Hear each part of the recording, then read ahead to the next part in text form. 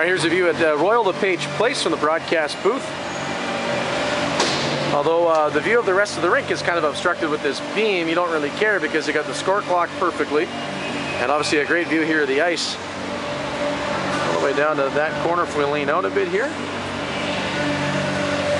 I'll go take a end shot here in a moment.